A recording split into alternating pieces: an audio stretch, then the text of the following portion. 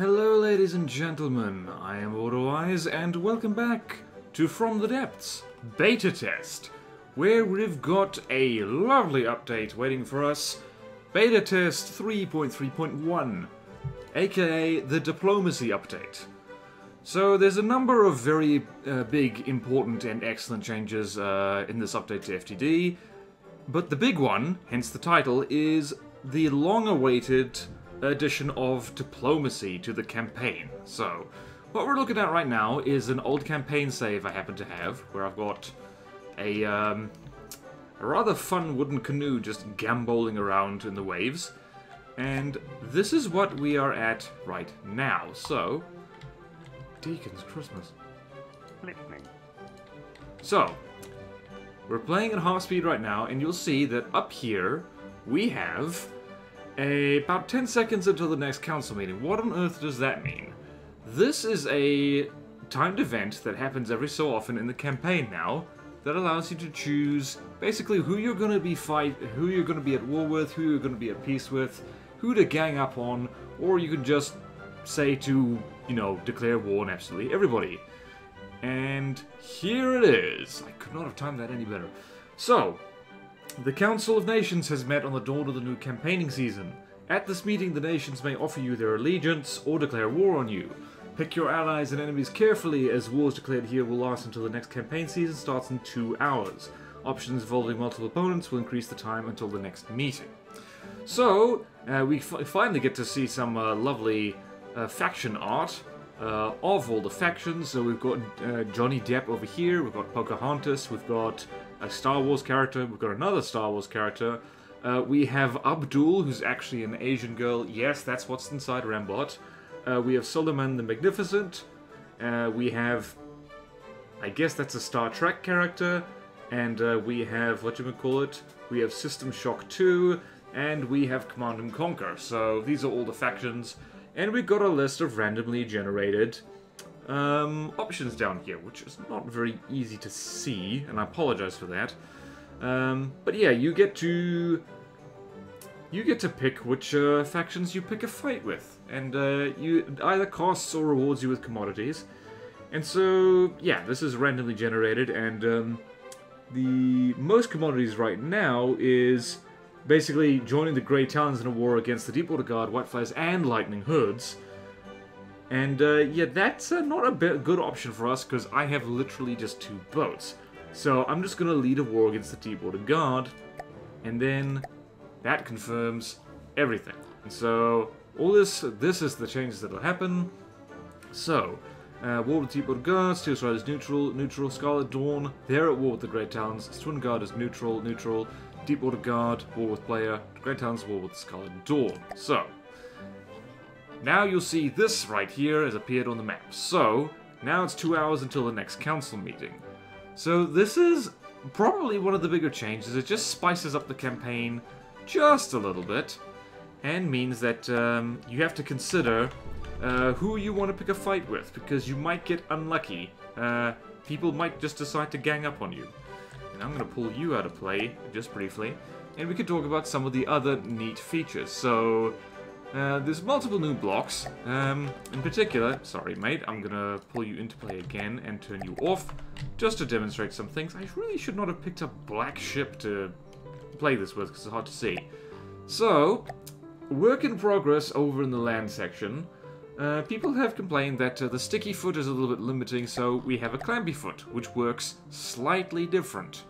So the sticky foot uh, basically sticks to terrain, provides friction, but this actually clamps onto terrain, so it works a little bit different. So a maximum of one clampy foot can be clamped at a given time for a given vehicle, and allows control of roll pitch and yaw when clamped. So if I put this here, and if I hit Q on it, uh, you can see the clamping state, clamp height, etc, etc, forward clamp, backward clamp, left clamp, right clamp, etc. Uh, I have not played around with this because uh, in the patch notes it says it is very much a work in progress, so I'm going to wait until they iron out whatever issues might be with it. So, moving right along, there are also features to decoration, which is very, very handy. So, if we place a... Let's place a block of a different color. right here, hit Control X, you'll see the UI is a little bit different, and you can hit Mass Paint uh, on all your deco. So if we go here, actually let's decorate here, add new decoration, and up positioning there, and copy all, go over here, paste all, and if we go back over here, uh, we can hit mass paint. And that didn't work. Oh no, that works for all decorations there, sorry.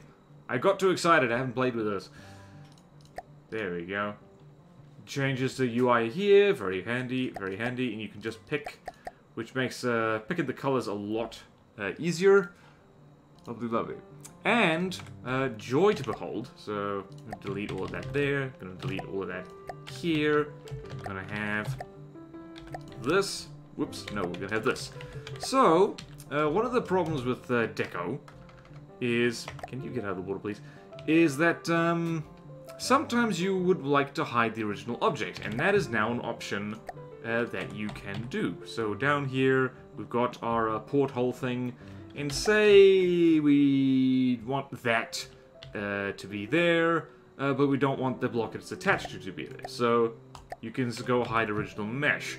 And this has a number of wonderful applications, and the immediate one I thought of is it means that you can make um, a vehicle out of one material when actually it's another. So I can go here and go, say, wood beam 4 metered, and just go pitch there, and admittedly that already hides the metal beam quite nicely, but that's not quite good enough, so hide original mesh. I now have a metal beam that looks like wood. And this just is going to free up a lot of, um, a lot of options uh, for people who want to really dig into the decoration mechanic. It's really good. So, uh, that's that, and we'll delete that. And uh, there's another incredibly handy feature, and that is something that I absolutely adore since I like to uh, build things out of wood, I like to prototype craft out of wood, and then later, uh, once the concept is proven, I like to make them out of um, metal or alloy, and heavy armor and stuff like that. And that does necessitate building the whole thing all over again, but we finally have a structural block swapper integrated into the game itself. Uh, some of you watching might remember uh, there used to be something like that, just uh, independent. Just checking that the Deepwater Guards not coming to murder me. Um, there used to be like a website for that, run by none other than uh, Sean, the community, John, sorry, the community manager. But unfortunately, that's out of date, so now we've got an integrated version. So we just go over here, ignore the count blocks, that thing that's a mod, armor refit. So say uh, we've got our friend here, we've got the Woodsider. Uh, it's made of wood. And, um, that's a problem. Why is there two options here? That's weird. That's weird, but it's okay. Ah, now we're looking at the right thing. So, it's made out of wood, and you can only really get away with pure woodcraft uh, for so long uh, in the campaign. And so, uh, maybe I want to change that to something else. Now, if I change it to metal, sink, but uh, changing it to alloy, for instance, uh, might be might be just an easy way to get this thing uh, you know, just to, to, extend its operational lifespan a little bit longer. So, I'm gonna do that. Click! And with just a single click, I have now uh, transformed this thing uh, into a much more sturdy craft, because alloy is a fair bit stronger than wood, it's much more lightweight, it's much more buoyant. And, well, we've got some stone down here, and then we're just keeping in mind with the durability thing, maybe I want to refit that. So let's go stone, to metal, refit. Ta-da! And I probably, I probably messed up the AI compartment because that's probably stone. I definitely have. And let's see here. Yes. Oh wow, that's awesome. Yeah, the graphical overhauls, uh, as mentioned in the last update video I did. Yeah, I'm gonna have to fix that, but that's okay. So yeah, like, this V-menu thing is the absolute best. I love it so much. And we're gonna go uh, celebrate uh, by uh, picking a fight with the Deepwater Guard, because we can do that. So while we're just watching Rambo... Actually... Uh, how about you get up to maximum speed? I'm getting distracted. That's okay. You have no materials. That's bad. Moving out. Okay, so now, while I'm resupplying my fleet, I can uh, talk a bit more about what's else. I'm gonna read out the patch notes as per tradition. So, additions. AI.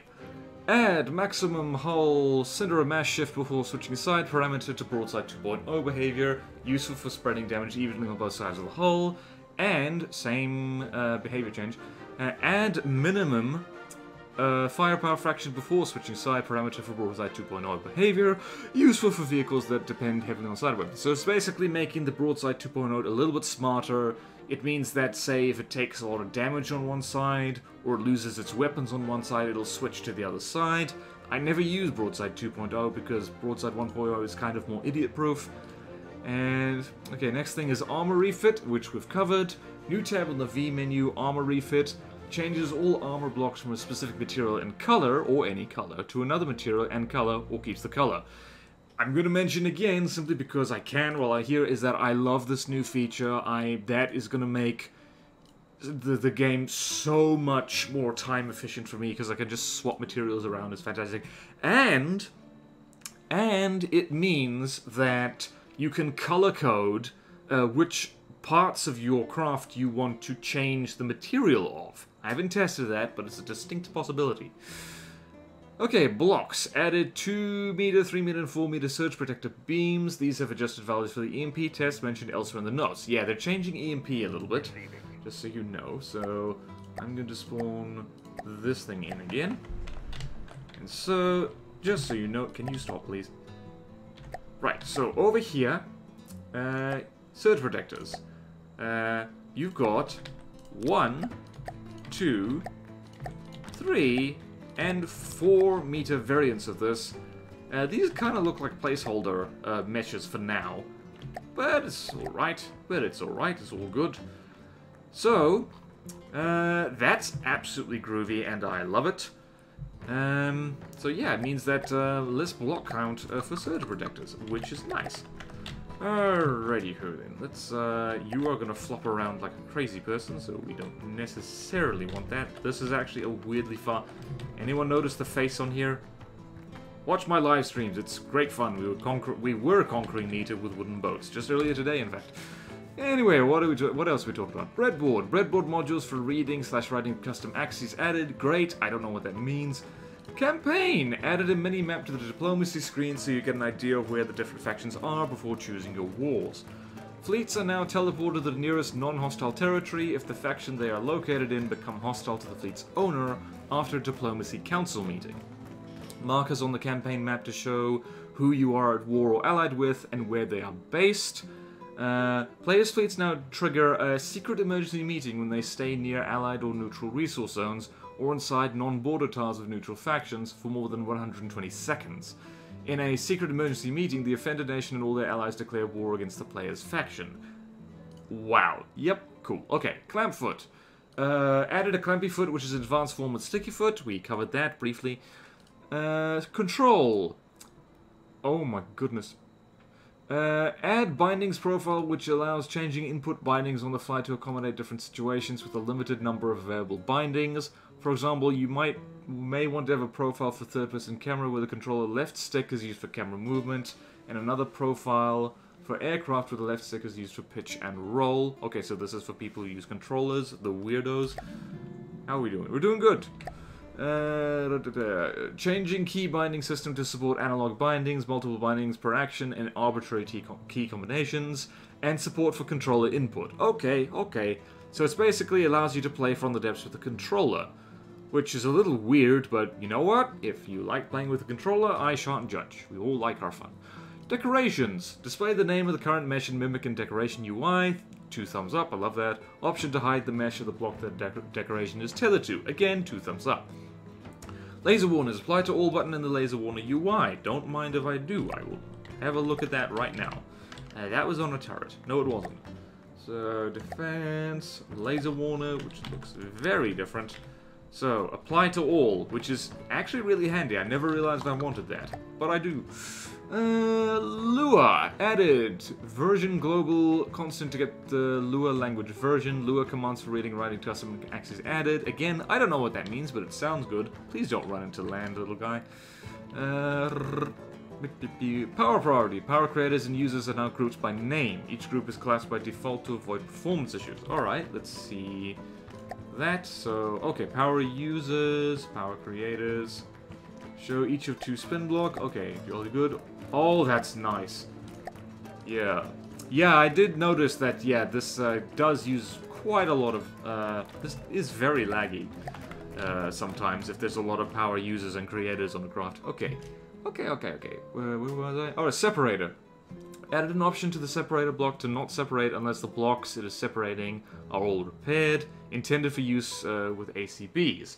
Add an option to the separator 2, instead of separating any block attached to it, only separate attached blocks that are in front of the separator block. In this mode, the separated vehicles are to be connected to the main vehicle in other places. Uh, let's just check that. Sub-object, where's the separator? And Q. Everything. Extra. Wait a minute. Did not separate it. Main, permanently. Wait on repairs. Do do do.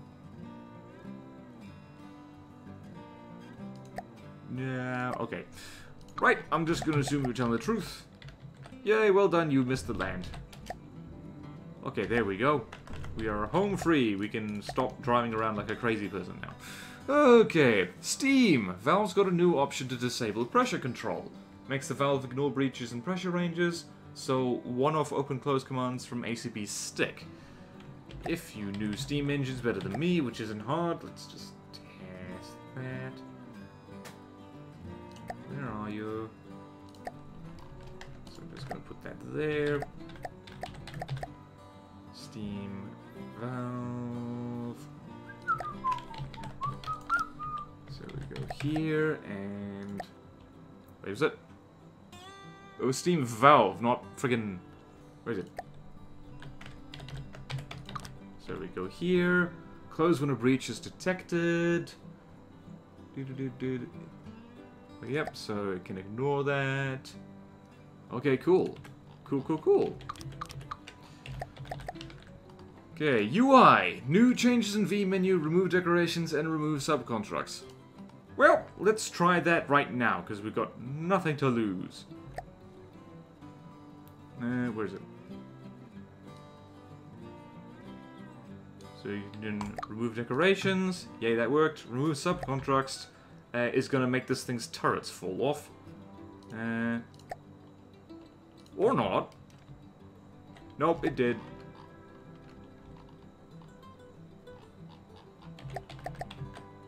What's up? Oh, no, it made the azapods fall off. Alright. Retrofit selected force. Let's retrofit you back to the regular Woodsider. Because, whoops, no, that's not there. I'm getting distracted. But I will not apologize.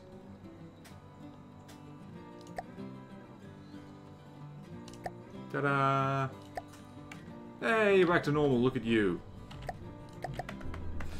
Alrighty, and now there's... Uh, okay, there's changes now. There's changes. ACB is now possible to detect an object up to 5,000... Yep, 5,000 meters in front of the ACB. Uh, let's stop rocking around, because otherwise people are going to get sick, and that's bad.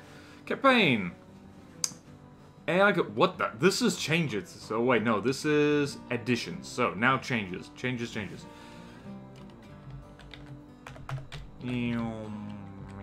Okay, campaign. All controlled fact AI-controlled factions that are allied will now work together to capture board sections from their enemies.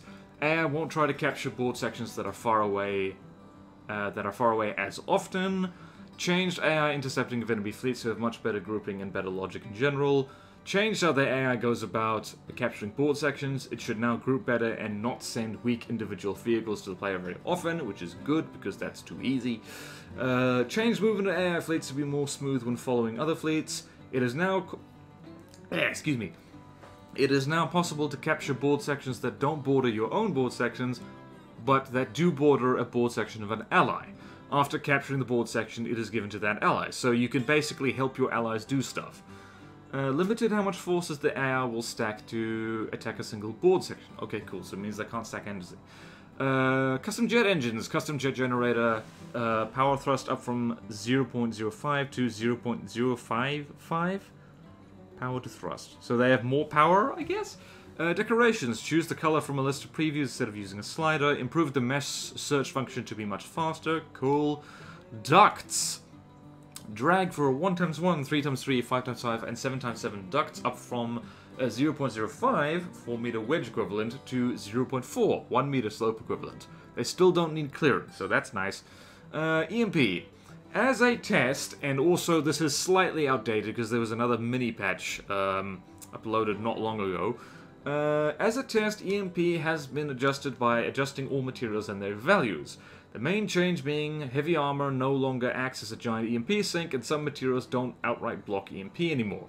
Feedback for this should be via the beta test feedback channel in Discord. That's the main From the Depths Discord channel, in case anyone's wondering. This is just a test and can be reverted, so this is something they're test driving.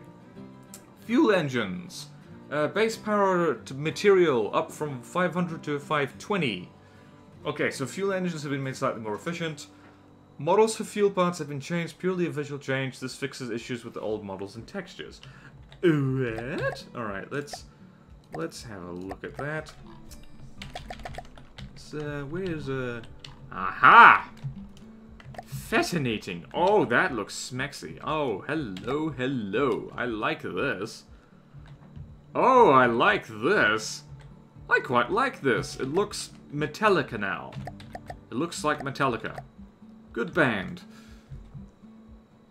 Yeah, yeah, it looks actual metal now. Interesting. So that's new cylinder. It's not a red thing. Yeah, cool. I dig it. I dig it. Okay, exhaust pipes. Yeah, they look like actual metal now. Oh, wow. Hull pipes look funky. I'm not sure about the hull pipe, to be perfectly honest with you. It's a little bit harder to tell... Okay, it's not hard at all to tell where the holes are. Silvery, shiny. We got chrome, ladies and gentlemen. Okay. Uh, loading. Faster loading of details in the blueprint browser. Groovy. So if I can just load the... Oh, I actually mentioned I did notice that was a little bit faster. Missile connectors and IFF blocks and ejectors now use the missile controller's Q menu. Okay, cool, cool, cool. So UI update. Uh, ejector add-ons and lure transceivers now use the missile launcher's Q menu. Okay, cool. Missile harpoon and sticky flare attachment is more reliable? Okay, um, that's a little vague. Missile winch max power up from 5,000 to 24,000. So they can really winch hard now. Uh, se selecting nose component on missiles with length of 102. Hang on a minute. Hang on a minute. That's a significant change. That is a significant change. Or is it? Okay, so... Could we not do this before? I don't remember, I never tried. So we can go active radar seeker I mean, why would you bother? Like, that really doesn't make much difference. I mean, you could make a very tiny, like, little kinetic bomb. So, impact damage per meter per second. Okay, yeah. Hmm. Interesting. If I put a thumper head on that, what does that do? Thumper head. Magnet? Yeah, I don't know. That that kind of confuses me. Alright. Okay, but yeah, the winch is more strong. The harpoon and sticky flare. Attachment is more reliable. Okay, cool. Alright, separators. Remove the... Have we captured this tile yet? Not quite. Uh, we do need to blow something up in this video. That's compulsory. Okay, okay, okay, okay, okay. Separator. Remove the two second delay uh, before a newly placed weapon can fire if the weapon is placed by a, a separator block. Separators have a 0.1 second cooldown between separating and attaching. Uh, the separate ACB action has a 1 second cooldown. Not sure what this... I have... I got to admit, I have not played much with separator blocks. I just haven't gotten around to it. Remove the two second delay before new weapon. Okay, well it just means that weapons can fire without delay uh, once the separator block works. Steam. Steam crank motor default RPM up to 2. Okay. Uh, Steam stat page tracks Steam jet thrust and material use. Okay, cool, cool. Visuals. Increase maximum low LOD uh, distance from 1 kilometer to 5 uh, kilometer. Okay, so you can load things in from a great distance. And then there is a whole bunch of uh, fixes, which I'm not going to go over because, I don't know, I just I just never do that. So, uh, on that merry note, um, I guess we'll go just go blow up a Deepwater Guard uh, a thing, just, um, and I'll give, I don't know, some thoughts uh, on the campaign. Or not on the campaign, sorry, on this patch. I love this. I love this patch a lot, so... Yeah, just uh, the, um, the block armor uh, retrofitting tool alone is truly fantastic. Like, I'm really happy about that. That's gonna save us so all so much time just in uh, retrofitting designs. Yeah, it's gonna be really good. Hope we actually get to... Oh yeah, this is the other canoe. It is a bunch of miniguns on a tiny wooden hull. It is delightfully adorable and useless. Uh, this guy is the one which actually brought firepower to this party. So, uh, what else, what else? New campaign, much more interesting, much more dynamic. You might be able to actually win... Didn't say in the patch notes whether you can actually just win the game uh, with an ally's help now. Um, but, um, yeah. What else is uh, worth uh, dwelling on? Like, keep an eye on this space for the for the clampy foot. That's good. Uh, decorations made a lot easier. Little changes to missiles. You need to go open fire at some point, because honestly, honestly, wait a minute. Uh-oh. We're almost out of materials. Okay, we fired one cram shot. That's good enough. That's good enough. It's H-E-E-M-P, by the way. Let's hope it actually hit something. It missed. What was I expecting? Well, this campaign's not uh, gonna go very well for me. Yep, I just uh, completely ran uh, out of materials for that. So I'm gonna go sit on you, and hopefully we're not gonna get drunk. But that's okay. Not drunk, I mean move around like we're drunk. Oh well. Let the soothing sounds of miniguns uh, soothe you to sleep. So yeah, that is, uh, that is... Distract them while I get to the number. Okay, uh, beta test 3.3.1. Lots of fun stuff, like, if, like, if you fell asleep during this video, like, campaign diplomacy, uh, retrofit function, clampy foot, and new deco features. So that's all very super and good, and I'm can't wait for this to get into the uh, what do you call it? To get into the stable branch. That would be super cool. So, thank you, devs, for continuing to update this amazing game. And thank you all so much for watching. Please like, comment, subscribe. I'm gonna be sick. Well, wish granted.